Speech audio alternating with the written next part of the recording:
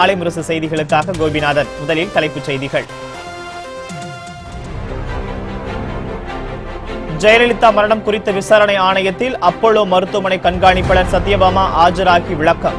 பாதுகாப்பு அதிகாரி பெருமாள் சாமி பூங்குன்றன் உள்ளிட்டோரும் ஆஜராக உத்தரவு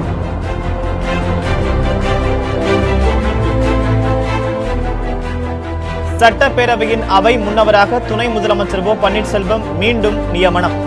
பள்ளி கல்வித்துறை அமைச்சர் செங்கோட்டையனிடமிருந்து பதவி பறிப்பு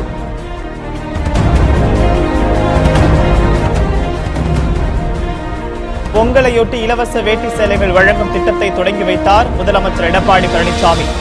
ஒரு கோடி குடும்ப அட்டைதாரர்கள் பயன் பெறுவார்கள் என அறிவிப்பு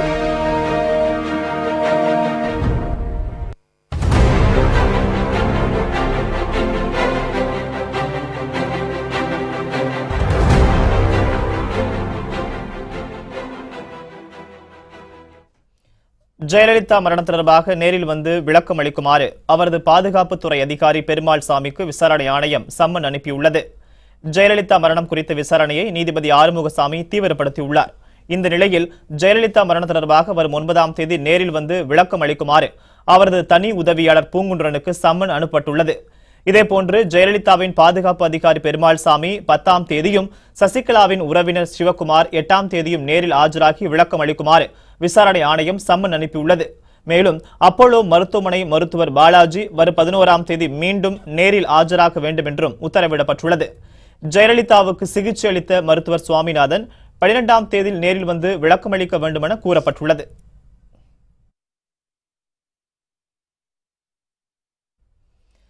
ஜெயலலிதாவின் பொயஸ் கார்டன் இல்லத்தை நினைவிளமாக மாற்ற எதிர்ப்பு தெரிவித்து சென்னை உயர்நீதிமன்றத்தில் வழக்கு தொடரப்பட்டுள்ளது சொத்து வழக்கில் குற்றவாளி என அறிவிக்கப்பட்ட ஜெயலலிதா அவர் வாழ்ந்த இல்லத்தை அரசு செலவில் நினைவிடமாக்க கூடாது என சமூக ஆர்வலர் டிராபிக் ராமசாமி சென்னை உயர்நீதிமன்றத்தில் வழக்கு தொடர்ந்துள்ளார் மேலும் ஜெயலலிதா வீட்டை அரசுடைமையாக்க எதிர்ப்பு தெரிவித்தும் இதுகுறித்து வெளியிடப்பட்ட தமிழக அரசின் உத்தரவை ரத்து செய்ய கோரியும் மனு அளிக்கப்பட்டுள்ளது இந்த மனு விரைவில் விசாரணைக்கு வரவுள்ளது தமிழக சட்டப்பேரவையின் அவை முன்னவராக துணை முதலமைச்சர் ஓ பன்னீர்செல்வம் மீண்டும் நியமிக்கப்பட்டுள்ளார் தமிழக சட்டப்பேரவை கூட்டத்தொடர் வரும் எட்டாம் தேதி ஆளுநர் உரையுடன் தொடங்குகிறது இதில் மேற்கொள்ள வேண்டிய அணுகுமுறைகள் குறித்து அதிமுக சட்டப்பேரவை உறுப்பினர்கள் நேற்று ஆலோசனை நடத்தினர் இந்நிலையில் சட்டப்பேரவையின் அவை முன்னவராக துணை முதலமைச்சர் பன்னீர்செல்வம் மீண்டும் நியமிக்கப்பட்டுள்ளார் தற்போது அவை முன்னவராக பள்ளிக்கல்வித்துறை அமைச்சர் செங்கோட்டையன் இருந்து வருகிறார் இந்நிலையில் இரு அணிகள் இணைந்த பிறகு அவை முன்னவராக பன்னீர்செல்வம் மீண்டும் நியமிக்கப்பட்டுள்ளார் ஜெயலலிதா முதலமைச்சராக இருந்தபோது பன்னீர்செல்வம் அவை முன்னவராக பதவி வகித்தார் என்பது குறிப்பிடத்தக்கது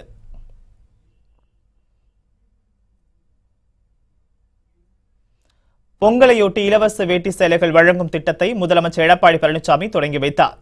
சென்னை தலைமைச் செயலகத்தில் நடைபெற்ற இந்த நிகழ்ச்சியில் அமைச்சர்கள் அரசு துறை அதிகாரிகள் உள்ளிட்டோர் கலந்து கொண்டனர் அப்போது பொங்கலையொட்டி குடும்ப அட்டைதாரர்களுக்கு இலவச வேட்டி சேலைகள் வழங்கும் திட்டத்தை முதலமைச்சர் தொடங்கி வைத்தார் முதற்கட்டமாக பத்து பயனாளிகளுக்கு இலவச வேட்டி சேலைகளை முதலமைச்சர் எடப்பாடி பழனிசாமி வழங்கினார் மற்ற மாவட்டங்களில் அமைச்சர்கள் வழங்குவார்கள் என அறிவிக்கப்பட்டுள்ளது சென்னையில் எம்ஜிஆர் கழக தலைவர் ஆர் எம் வீரப்பனை ரஜினிகாந்த் சந்தித்து பேசினார் அரசியல் கட்சி தொடங்கி சட்டப்பேரவை தேர்தலில் இருநூற்று முப்பத்தி நான்கு தொகுதிகளிலும் போட்டியிடப் போவதாக ரஜினிகாந்த் அறிவித்துள்ளார் இதையடுத்து திமுக தலைவர் கருணாநிதியை நேற்று சந்தித்து அவரிடம் ஆசி பெற்றார் இந்நிலையில் எம்ஜிஆர் கழக தலைவர் ஆர் எம் வீரப்பனை ரஜினிகாந்த் சந்தித்து பேசினார் சென்னை தியாகராய நகரில் உள்ள அவரது வீட்டில் நடைபெற்ற இந்த சந்திப்பில் தமது அரசியல் பயணம் குறித்து ஆர் எம் வீரப்பனிடம் ரஜினிகாந்த் ஆலோசனை நடத்தினார் ஆர்கே நகரில் ஒவ்வொரு வேட்பாளருக்கும் ஆளும் கட்சியினர் ஆறாயிரமும் சுயேட்சை வேட்பாளர் இருபதாயிரமும் பணப்பட்டுவாடா செய்துள்ளதாக நடிகர் கமலஹாசன் குற்றம் சாட்டியுள்ளார் இது தொடர்பாக வார இதழ் ஒன்றிற்கு கருத்து தெரிவித்துள்ள அவர்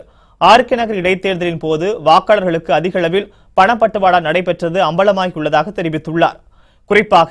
ஆளும் கட்சி தரப்பில் ஒவ்வொரு வாக்குக்கும் ஆறாயிரம் ரூபாய் வீதம் முதல்வர் மற்றும் அமைச்சர்கள் பணப்பட்டுவாடா செய்திருப்பது தற்போது தெரிய வந்துள்ளதாக கமல் சுட்டிக்காட்டியுள்ளார் இதேபோன்று சுயேட்சை வேட்பாளர் இருபதாயிரம் ரூபாய் கொடுத்து ஒவ்வொரு ஓட்டுக்கும் விலை நிர்ணயித்திருப்பதாகவும் அவர் குறிப்பிட்டுள்ளார் இதனால் அதிக விலை நிர்ணயித்த சுயேட்சு வேட்பாளருக்கு பொத்தானை அழுத்தி ஆர்கே நகர் மக்கள் வெற்றி பெற செய்துவிட்டதாக அவர் சாடியுள்ளார் மேலும் ஆர்கே நகர் வாக்காளர்கள் இருபது ரூபாய் டோக்கனுக்கு விலை போயிருப்பது திருடரிடம் பிச்சை எடுப்பது போல் கேவலமாக இருப்பதாகவும் கமல் குற்றம் சாட்டியுள்ளார் ஜெயலலிதா மரணம் தொடர்பாக விசாரணை ஆணையத்தில் அப்போலோ மருத்துவமனை கண்காணிப்பாளர் சத்யபாமா நேரில் ஆஜராகி விளக்கம் அளித்து வருகிறார் முன்னாள் முதலமைச்சர் ஜெயலலிதா மரணம் தொடர்பாக நீதிபதி ஆறுமுகசாமி தலைமையிலான விசாரணை ஆணையம் அமைக்கப்பட்டுள்ளது தமிழக அரசின் முன்னாள் தலைமைச் செயலாளர் ராம்மோகன் ராவ் ஷீலா பாலகிருஷ்ணன் உள்ளிட்டோர் விசாரணை ஆணையத்தில் நேரில் ஆஜராகி விளக்கம் அளித்துள்ளனர் இதேபோன்று இளவரசியின் மகள் கிருஷ்ணபிரியா உள்ளிட்டோரிடம் நீதிபதி ஆறுமுகசாமி விசாரணை நடத்தினார் இந்நிலையில் அப்போலோ மருத்துவமனை கண்காணிப்பாளர் சத்தியமாமா விசாரணை ஆணையத்தில் ஆஜராகி விளக்கம் அளித்து வருகிறார் ஜெயலலிதாவுக்கு அளிக்கப்பட்ட சிகிச்சை குறித்து அவரிடம் நீதிபதி ஆறுமுகசாமி விசாரணை மேற்கொண்டு வருகிறார் ஊதிய உயர்வு தொடர்பாக தமிழக அரசுடன் போக்குவரத்து தொழிற்சங்கங்கள் இறுதிக்கட்ட பேச்சுவார்த்தையில் தீவிரமாக ஈடுபட்டுள்ளனர் அரசு போக்குவரத்து தொழிலாளர்களுக்கு மூன்றாண்டுகளுக்கு ஒருமுறை வழங்கப்படும் ஊதிய உயர்வு இன்னும் வழங்கப்படவில்லை இதனை கண்டித்து தமிழகம் முழுவதும் போக்குவரத்து தொழிலாளர்கள் போராட்டத்தில் ஈடுபட்டனர் இதையடுத்து தமிழக அரசுடன் போக்குவரத்து தொழிற்சங்க நிர்வாகிகள் கடந்த வாரம் பேச்சுவார்த்தை நடத்தினர் இதில் உடன்பாடு எட்டப்படாததை அடுத்து அடுத்த கட்ட பேச்சுவார்த்தை ஜனவரி நான்காம் தேதிக்கு ஒத்திவைக்கப்பட்டது அதன்படி சென்னை குரோம்பேட்டை போக்குவரத்து பணிமனையில் இன்று இறுதிக்கட்ட பேச்சுவார்த்தை நடைபெற்று வருகிறது போக்குவரத்து துறை அமைச்சர் எம் ஆர் விஜயபாஸ்கர் தலைமையில் நடைபெறும் இந்த பேச்சுவார்த்தையில் உடன்பாடு ஏற்படும் என எதிர்பார்க்கப்படுகிறது முடிவு எட்டப்படவில்லை என்றால் தமிழகம் முழுவதும் வேலைநிறுத்த போராட்டம் நடத்தப்படும் என போக்குவரத்து தொழிற்சங்க நிர்வாகிகள் தெரிவித்துள்ளனர்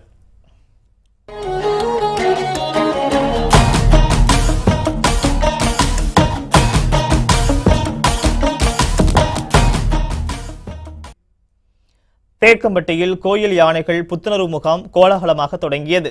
தமிழகத்தில் உள்ள கோயில் யானைகளுக்கு ஆண்டுதோறும் இந்து சமய அறநிலையத்துறை சார்பில் புத்துணர்வு முகாம் நடத்தப்பட்டு வருகிறது இதன்படி மேட்டுப்பாளையத்தை அடுத்த தேக்கம்பட்டியில் புத்துணர்வு முகாம் கோலாகலமாக இன்று தொடங்கியது வனத்துறை அமைச்சர் திண்டுக்கல் சீனிவாசன் இந்து சமய அறநிலையத்துறை அமைச்சர் சேவு ராமச்சந்திரன் உள்ளிட்டோர் தொடங்கி வைத்தனர் அப்போது யானைகளுக்கு அமைச்சர்கள் வெள்ளம் மற்றும் உணவளித்து ஆசி பெற்றனர்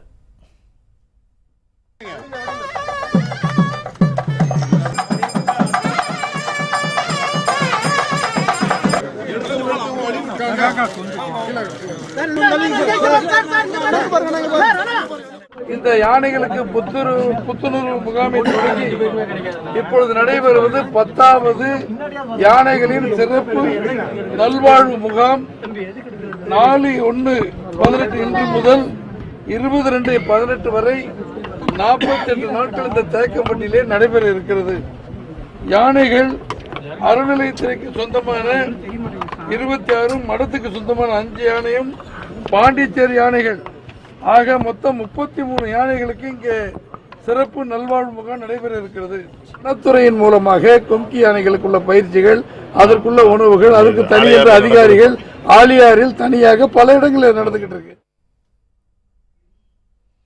பிப்ரவரி இருபதாம் தேதி வரை நடைபெறும் இந்த புத்துணர்வு முகாமில் தமிழகம் மற்றும் புதுச்சேரியிலிருந்து முப்பத்தி மூன்று யானைகள் பங்கேற்றுள்ளன இதற்காக யானைகளுக்கு சிறப்பு பூஜைகள் செய்து கோயில் நிர்வாகம் முகாமிற்கு அனுப்பி வைத்துள்ளது ஐந்து நாட்கள் அரசுமுறை பயணமாக வெளியுறவுத்துறை அமைச்சர் சுஷ்மா சுவராஜ் ஆசிய நாடுகளுக்கு புறப்பட்டார் வெளியுறவுத்துறை அமைச்சர் சுஷ்மா சுவராஜ் ஐந்து நாள் பயணமாக தாய்லாந்து இந்தோனேஷியா சிங்கப்பூர் நாடுகளுக்கு சுற்றுப்பயணம் மேற்கொள்கிறார் இதற்காக டெல்லியிலிருந்து தனி விமானம் மூலம் இன்று தாய்லாந்திற்கு புறப்பட்டுச் சென்றார் வெளியுறவுத்துறை அதிகாரிகள் அவரை வழி அனுப்பி வைத்தனர் இந்தியாவுடனான நட்புறவை மேம்படுத்தும் விதமாக தாய்லாந்து வெளியுறவுத்துறை அமைச்சர் சுஷ்மா சுவராஜ் பேசுகிறார் இதையடுத்து சிங்கப்பூர் செல்லும் அவர் அங்கு நடைபெறும் மாநாட்டில் கலந்து கொள்கிறார் வெளிநாடு செல்ல அனுமதிக்க கோரி கார்த்திக் சிதம்பரம் உச்சநீதிமன்றத்தை மீண்டும் நாடியுள்ளார் எக்ஸ் நிறுவனத்திற்கு சட்டவிரோதமாக வெளிநாட்டு முதலீடுகளை பெற்று தந்ததாக முன்னாள் மத்திய அமைச்சர் ப சிதம்பரத்தின் மகன் கார்த்திக் சிதம்பரம் மீது சிபிஐ வழக்கு பதிவு செய்துள்ளது இந்த வழக்கு தொடர்பாக விசாரணைக்கு கார்த்திக் சிதம்பரம் ஆஜராகாமல் தவிர்த்து வந்தார் இதையடுத்து அவர் வெளிநாட்டுக்கு செல்வதற்கு தடை விதித்து உச்சநீதிமன்றம் உத்தரவிட்டது இதை எதிர்த்து கார்த்திக் சிதம்பரம் தாக்கல் செய்த மேல்முறையீட்டு மனுவை விசாரித்த நீதிபதிகள் பத்து நாட்கள் அவர் வெளிநாட்டிற்கு செல்வதற்கு அனுமதி அளித்தனர் இந்நிலையில் வியாபாரம் தொடர்பாக மீண்டும் வெளிநாடு செல்ல அனுமதி கோரி கார்த்திக் சிதம்பரம் உச்சநீதிமன்றத்தில் மனு தாக்கல் செய்துள்ளார் இந்த மனு மீது வரும் எட்டாம் தேதி விசாரணை நடைபெறும் என நீதிபதிகள் தெரிவித்துள்ளனர் மகாராஷ்டிர மாநிலத்தில் தலித்துகளுக்கும் மற்றொரு சாதியினருக்கும் இடையில் ஏற்பட்ட கலவரத்தில் மக்களின் இயல்பு வாழ்க்கை பாதிக்கப்பட்டுள்ளது மகாராஷ்டிர மாநிலத்தில் கடந்த இரண்டு நாட்களாக நீடித்த தலித்துகளுக்கும் மற்றொரு சாதியினருக்கும் இடையிலான கலவரம் அண்டை மாநிலமான குஜராத்திற்கும் பரவியுள்ளது இந்நிலையில் நேற்றிரவு ராஜ்கோட் நகரில் உள்ள டோராஜி பகுதியில் வன்முறையாளர்கள் வாகனங்களுக்கு தீ வைத்து எரித்து கடைகளை அடித்து நொறுக்கினர் இதனால் அங்கு பதற்றம் நிலவி வருகிறது மேலும் கலவரம் நிகழாமல் இருக்க அங்கு போலீசார் குவிக்கப்பட்டுள்ளதால் மக்களின் இயல்பு நிலை பாதிக்கப்பட்டுள்ளது அரசு போட்டித் தேர்விற்கான இலவச பயிற்சி மையத்தை அமைச்சர் ஜெயக்குமார் துவக்கி வைத்தார் சென்னை பழைய வண்ணாரப்பேட்டையில் உள்ள தியாகராய கல்லூரி வளாகத்தில் அரசு போட்டித் தேர்விற்கான பயிற்சி மையம் அமைக்கப்பட்டது இதனை இன்று அமைச்சர் ஜெயக்குமார் துவக்கி வைத்தார் இதன்பின் அந்த நிகழ்ச்சியில் பேசியவர் அவர் குதிரை வேக அரசுக்கு தற்போதைய ஆட்சி உதாரணம் என்று கூறினார்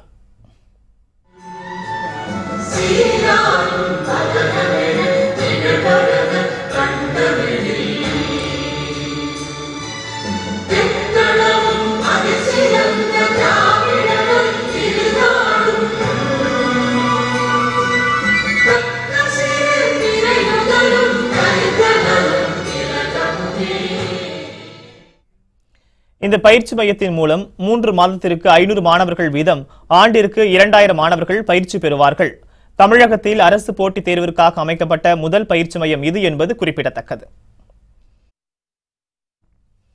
மும்பையில் அடுக்குமாடி குடியிருப்பில் ஏற்பட்ட தீ விபத்தில் ஒரு குழந்தை உள்பட நான்கு பேர் உடல் கருகி உயிரிழந்தனர் மும்பையில் மக்கள் நடமாட்டம் மிகுந்த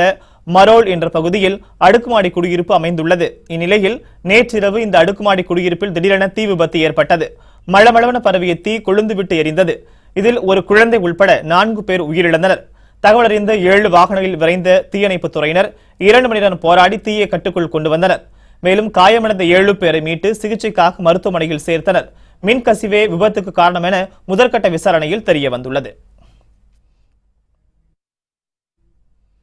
போக்குவரத்தை ஒழுங்குபடுத்துவதற்காக போலீசார் வைத்திருக்கும் தற்காலிக தடுப்புகளையே இருசக்கர வாகனத்தில் செல்லும் இளைஞர்கள்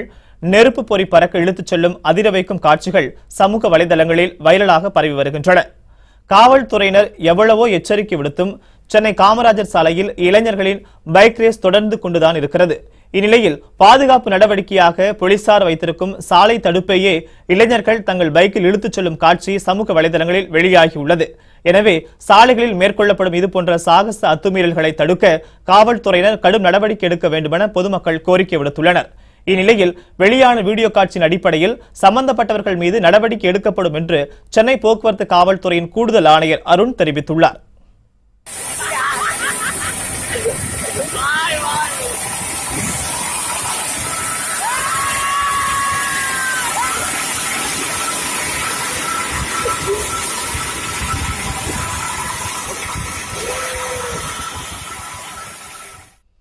ஒய்எஸ்ஆர் காங்கிரஸ் தலைவர் மோகன் ரெட்டியின் ரூபாய் நூற்று பதினேழு கோடி மதிப்பிலான சொத்துக்களை அமலாக்கத்துறை முடக்கியுள்ளது ஜெகன் மோகன் ரெட்டி மீது சட்டவிரோத பண பரிவர்த்தனை வழக்கை அமலாக்கத்துறை விசாரணை செய்து வருகிறது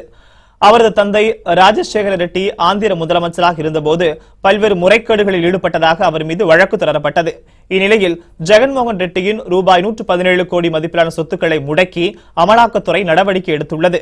ஏற்கனவே இரண்டு முறை அவரின் சொத்துக்களை அமலாக்கத்துறை முடக்கியுள்ளது குறிப்பிடத்தக்கது கச்சத்தீவு அருகே மீன்பிடித்துக் கொண்டிருந்த தமிழக மீனவர்கள் பனிரெண்டு பேரை இலங்கை கடற்படை மீண்டும் கைது செய்துள்ளது ராமேஸ்வரத்தைச் சேர்ந்த ஆயிரத்திற்கும் மேற்பட்ட மீனவர்கள் ஐநூறுக்கும் மேற்பட்ட விசை படகுகளில் மீன்பிடிக்கச் சென்றனர் கச்சத்தீவு அருகே மீன்பிடித்துக் கொண்டிருந்த போது அங்கு வந்த இலங்கை கடற்படையினர் கற்களை வீசியும் கண்ணாடி பாட்டில்களை வீசியும் விரட்டி அடித்தனர் மேலும் வலைகளை அறுத்து எரிந்தும் அவர்கள் அட்டூழியத்தில் ஈடுபட்டனர் இதோடு ஆத்திரம் அடங்காத இலங்கை கடற்படையினர் பனிரண்டு மீனவர்களையும் அவர்களின் இரண்டு விசை படகுகளையும் சிறைப்பிடித்துச் சென்றனர் மூன்று படகுகளையும் சேதப்படுத்தியும் இலங்கை கடற்படையினர் அராஜகத்தில் ஈடுபட்டனர் இதனால் உயிர் பிழைத்தால் போதும் என மற்ற மீனவர்கள் அவசர அவசரமாக கரை திரும்பினர் நாங்க தான் மீனவர்களை மீட்டு கொடுத்துட்டோம் அப்படின்னு அரசு சொல்லுது ஆனா திருப்பி அதை விட அதிகமான மீனவர்களை வந்து சிறப்பிடிச்சுக்கிட்டு இருக்காங்க இல்லைங்க இன்னைக்கு பாருங்க இன்னைக்கு பன்னெண்டு பேர் நாளைக்கு கடலுக்கு போனால் எத்தனை பேரை பிடிப்பாங்க என்ன செய்வாங்கன்னு தெரியாத ஒரு துன்ப துயர சூழ்நிலையில் வந்து மீனவர்கள் வந்து வாடி வதங்கிட்டு இருக்கோம் இது வந்து மத்திய அரசு மாநில அரசு தபால் எழுதுவதோடு தன்னுடைய வேலையை நிறுத்திக் கொள்கிறது மத்திய அரசு வந்து இதை வேடிக்கை பார்த்து கொண்டிருக்கிறது அவனா விட்டா விடட்டும் இல்லைன்னா இவங்க போய் சாகட்டுங்கிற முடிவில் இருக்கு போக்குவரத்து தொழிலாளர்களுக்கு எதிராக தமிழக அரசு செயல்படக்கூடாது என தினகரன் எம்எல்ஏ வலியுறுத்தியுள்ளார் இது தொடர்பாக ட்விட்டரில் பதிவிட்டுள்ள செய்தியில் எம்ஜிஆர் மற்றும் ஜெயலலிதா ஆட்சியிலும் மூன்று ஆண்டுகளுக்கு ஒருமுறை அரசு போக்குவரத்து தொழிலாளர்களுக்கு ஊதிய ஒப்பந்தம் போடப்பட்டதாக தெரிவித்துள்ளார் தற்போது நான்கு ஆண்டுகளுக்கு ஒருமுறை ஊதிய ஒப்பந்தத்தை மாற்றி அமைக்க முயற்சிப்பது தொழிலாளர்களின் நலனுக்கு எதிரானது என தினகரன் சுட்டிக்காட்டியுள்ளார் எனவே தொழிலாளர்களின் விரும்பும் வகையில் ஒப்பந்தம் ஏற்படுத்தி ஒன்றே முக்கால் லட்சம் போக்குவரத்து தொழிலாளர்கள் அறுபத்தி ஐந்தாயிரம் ஓய்வு பெற்ற தொழிலாளர்களின் நலன் காக்க தமிழக அரசு நடவடிக்கை எடுக்க வேண்டும் என்று அவர் கேட்டுக் கொண்டுள்ளார் ஜான்சினானிக்கு முன்பே ஆங்கிலேயர்களை எதிர்த்தவர் வேலு நாச்சியார் என உயர்கல்வித்துறை அமைச்சர் அன்பழகன் தெரிவித்துள்ளார் சென்னை பல்கலைக்கழக வளாகத்தில் இந்திய வரலாற்றுத் துறையின் தேசிய கருத்தரங்கம் நடைபெற்றது வெள்ளையனே வெளியேறு இயக்கம் தொடங்கி எழுபத்தைந்து ஆண்டுகள் நிறைவடைந்ததையடுத்து கொண்டாடப்பட்ட இவ்விழாவில் ஆளுநர் பன்வாரிலால் புரோஹித் கலந்து கொண்டார் அப்போது தமிழகத்தின் முன்னணி வரலாற்றாளர்கள் ஆய்வாளர்களின் ஆய்வு கட்டுரைகள் கொண்ட சிறப்பு இதழினை வெளியிட்டார் இந்நிகழ்ச்சியில் சென்னையை சுற்றியுள்ள எழுபதற்கும் மேற்பட்ட இருந்து இரண்டாயிரத்து ஐநூறு மாணவர்கள் கலந்து கொண்டனர் இவ்விழாவில் பேசிய அமைச்சர் கே பி அன்பழகன் இந்திய விடுதலை போராட்டத்தில் தமிழகத்தின் பங்குதான் அதிகம் என குறிப்பிட்டார் அப்போது அரசு போட்டித் தேர்வுக்கான பயிற்சி வகுப்பை பழைய வண்ணாரப்பட்டில் தாம் துவக்கி வைத்திருப்பதாக தெரிவித்திருந்தார் அது குறித்த கூடுதல் செய்தி தொகுப்பினை நமது மாலை முரசு தொலைக்காட்சியில் பின்னர் வரும் செய்தியில் விரிவாக பார்க்கலாம் தொடர்ந்து மற்ற செய்திகள் தமிழகத்தில் எய்ம்ஸ் மருத்துவமனை அமைவது உறுதி என சுகாதாரத்துறை அமைச்சர் விஜயபாஸ்கர் தெரிவித்துள்ளார் சென்னை எம்ஜிஆர் மருத்துவ பல்கலைக்கழகத்தின் சார்பில் சித்த மருத்துவ திருநாள் கொண்டாடப்பட்டு வருகிறது இந்த நிகழ்ச்சியில் சுகாதாரத்துறை அமைச்சர் விஜயபாஸ்கர் கலந்து கொண்டு சித்தர் மற்றும் அகத்தியரின் மருத்துவ மகத்துவத்தை எடுத்துரைத்தார் பின்னர் செய்தியாளர்களிடம் பேசிய அவர் தேசிய மருத்துவ ஆணையத்தில் தமிழக பிரதிநிதிகள் இடம்பெறும் வகையில் மாற்றம் கொண்டு வர வேண்டும் என்று கூறினார் தமிழகத்தில் எய்ம்ஸ் மருத்துவமனை அமைவது உறுதி என்றும் விஜயபாஸ்கர் தெரிவித்தார் தமிழ்நாட்டில் உங்களுக்கு தெரியும் மாண்புமிகு அம்மாவுடைய அரசு தொடர்ந்து அலோபதிக்கு எந்த அளவுக்கு நம்ம முக்கியத்துவம் கொடுக்குறோமோ அதே போல் சித்த மருத்துவ துறைக்கும் அதிக முக்கியத்துவம் கொடுக்கப்பட்டு கொண்டிருக்கிறது குறிப்பாக இப்போ நம்ம டெங்கு காய்ச்சலுக்கு நிலவேம்பு குடிநீர் அதே போல் அம்மா மகப்பேறு சஞ்சீவினி திட்டம் பன்றி காய்ச்சலுக்கு இந்த கபஸ்கர குடிநீர் போன்ற பல்வேறு பாரம்பரிய மருந்துகளும் நம்முடைய முக்கியமான காலகட்டத்தில் சித்த மருத்துவத்துறையின் மூலமாக துணை நிற்கின்றன தமிழக அரசு போக்குவரத்து கழகம் நஷ்டத்தில் இயங்குவதால் தினந்தோறும் ஐந்தாயிரம் பேருந்துகள் நிறுத்தப்படுவதாக அதிகாரிகள் தரப்பில் தெரிவிக்கப்பட்டுள்ளது தமிழ்நாட்டில் உள்ள அரசு போக்குவரத்து கழகங்கள் எட்டு மண்டலங்களாக பிரிக்கப்பட்டு மொத்தம் இருபத்தி இரண்டாயிரத்து ஐநூற்று முப்பத்தி மூன்று பேருந்துகள் இயக்கப்படுகின்றன தமிழ்நாடு அரசு போக்குவரத்து கழகத்திற்கு ஆண்டுக்கு மூன்றாயிரத்து தொள்ளாயிரத்தி அறுபது கோடி ரூபாய் நஷ்டம் ஏற்படுவதால் பழைய பேருந்துகளுக்கு பதில் புதிய பேருந்துகளை வாங்க முடியாத சூழல் நிலவுகிறது இதனால் டீசல் நிரப்ப பணம் இல்லாத காரணம் பேருந்துகளை பராமரிக்க முடியாத நிலை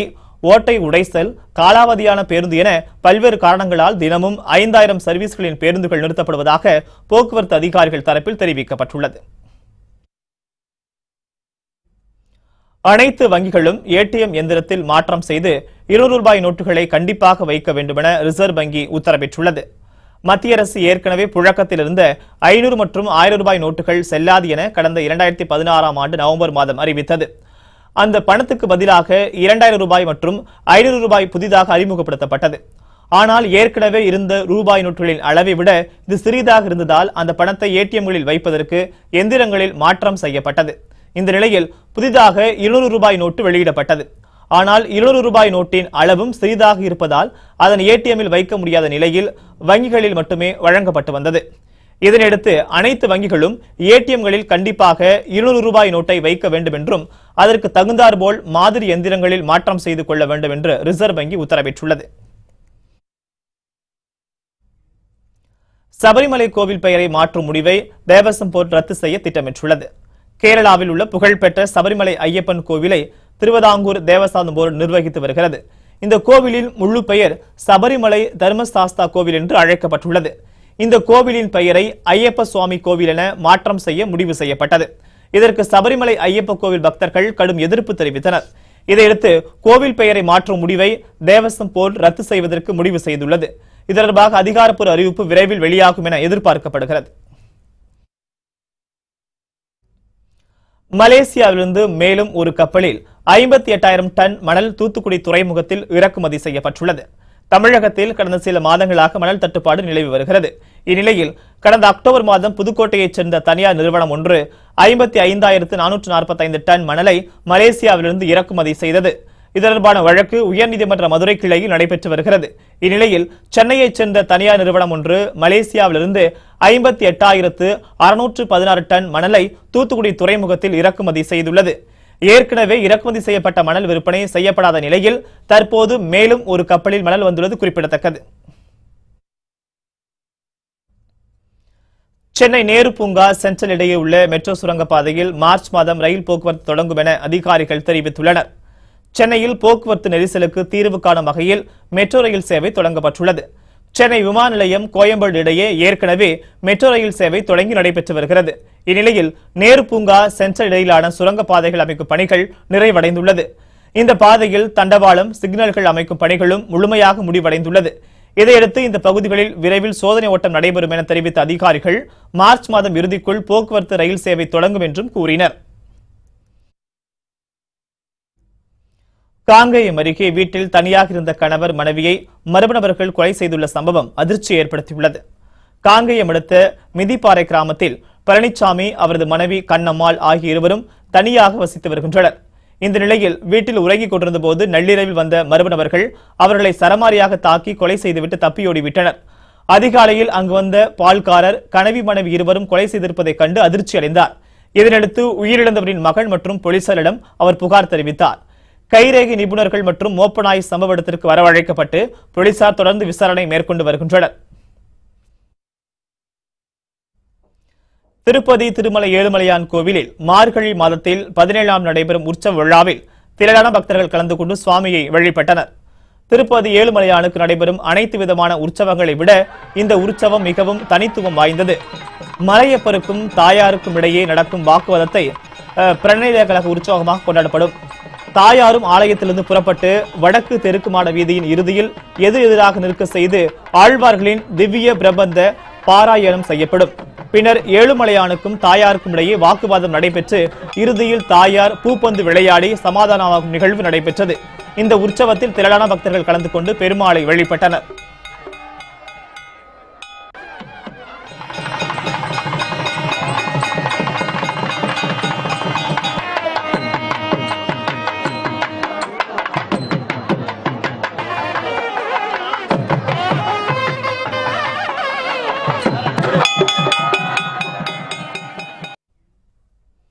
இரண்டாயிரத்தி பதினேழாம் ஆண்டில் பேஸ்புக்கில் அதிகம் பேசப்பட்டவர்களின் பட்டியலில் பிரதமர் மோடி சச்சின் இடம்பெற்றுள்ளதாக தெரிவிக்கப்பட்டுள்ளது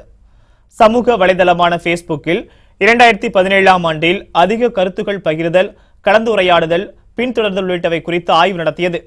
இது தொடர்பாக அது வெளியிட்டுள்ள அறிக்கையில் இரண்டாயிரத்தி பதினேழாம் ஆண்டில் அதிகம் பேசப்பட்டவர்களின் பட்டியலில் மக்களவை உறுப்பினர்களில் பிரதமர் மோடியும் மாநிலங்களவை உறுப்பினர் சச்சின் டெண்டுல்கரும் இடம்பெற்றுள்ளனர் இவர்களை அடுத்து ஆர் கே சின்ஹா அமித்ஷா உள்ளிட்டோரை அதிக மக்கள் பின்தொடர்ந்ததாக கூறப்பட்டுள்ளது மாநில அரசுகளில் உத்தரப்பிரதேச முதல்வர் யோகி ஆதித்யநாத் ராஜஸ்தான் முதல்வர் வசுந்தரா ராஜே ஆகியோர் மிகவும் பிரபலமானது அரசு என குறிப்பிட்டுள்ளது கட்சிகளின் அடிப்படையில் பாஜக ஆம் ஆத்மி காங்கிரஸ் ஆகிய கட்சிகள் பட்டியலில் இடம் பிடித்துள்ளதாகவும் ஆய்வில் தெரிவிக்கப்பட்டுள்ளது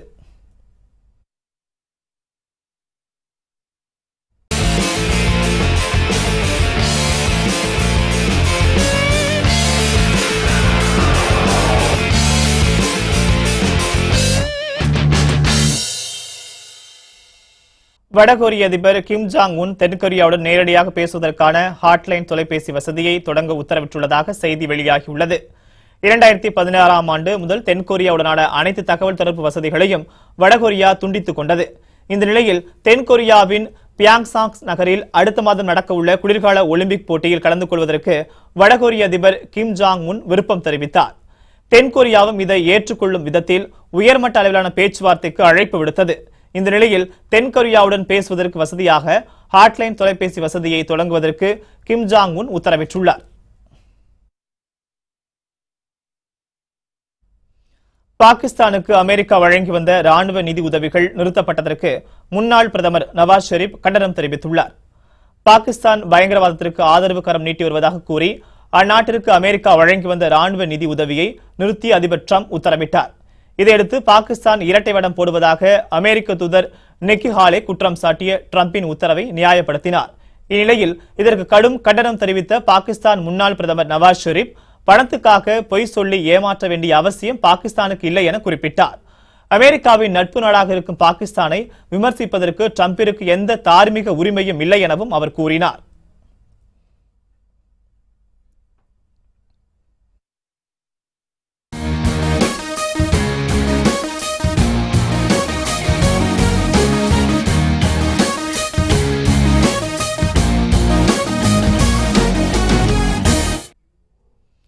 ஆஸ்திரேலிய கிரிக்கெட் அணிக்கு பயிற்சியாளராக முன்னாள் கேப்டன் பாண்டிங் தேர்வு செய்யப்படுவார் என எதிர்பார்க்கப்படுகிறது ஆஸ்திரேலிய கிரிக்கெட் அணிக்காக இரண்டு உலகக்கோப்பையை கேப்டனாக இருந்த பெற்றுக் கொடுத்தவர் ரிக்கி பாண்டிங் இவரைத் தொடர்ந்து ஸ்டீவ் ஸ்மித் கேப்டன் பதவியை சிறப்பாக செய்து வருகிறார் டெஸ்ட் மற்றும் ஒருநாள் போட்டியில் ஆஸ்திரேலிய அணி சிறப்பாக செய்து வருகிறது ஆனால் இருபது ஓவர் போட்டியில் மோசமாக சொதப்பி வருகிறது இதனால் முன்னாள் வீரர் பாண்டிங் ஆஸ்திரேலிய வீரர்களுக்கு அறிவுரை வழங்கி வருகிறார் இந்நிலையில் டேரா லெமனின் பயிற்சியாளர் பதவி அடுத்த வருடம் முடிவடைய உள்ள நிலையில் ஆஸ்திரேலிய அணியின் பயிற்சியாளராக ரிக்கி பாண்டிங் தேர்வு செய்ய வாய்ப்புள்ளதாக தகவல் வெளியாகியுள்ளது புத்தம் புதிய செய்திகள் அவ்வப்போது முழுமையாக மாலை முரசு தொலைக்காட்சி வழங்கும் இணைந்திருங்கள் மாலை முரசு தொலைக்காட்சியுடன் வணக்கம்